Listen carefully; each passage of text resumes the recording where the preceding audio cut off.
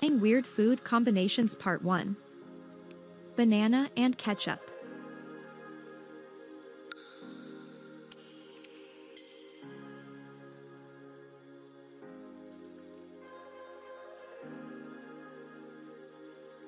Confusing flavors and texture. Why is that not bad? what is that? Like, not bad. What the hell?